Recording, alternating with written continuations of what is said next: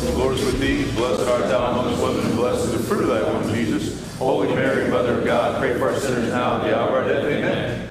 Hail Mary, Queen of Victory!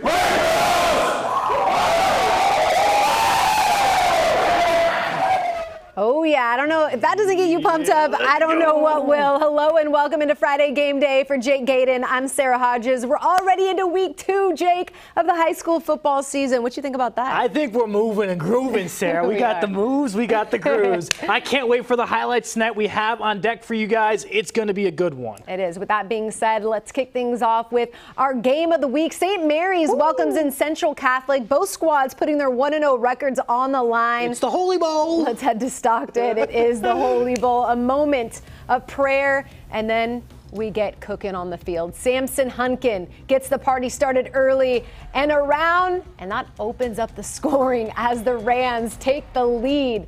But in a rivalry game, expect a response.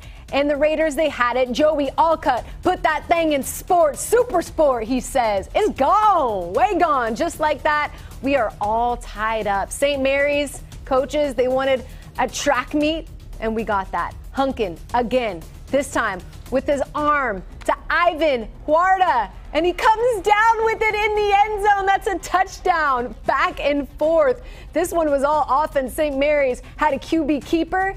Now it's Modesto's time. Tyler Wentworth coming right at our photographer there, Cecil. And that's the good stuff. This might be some of the best stuff, though. Hunkin to Huerta.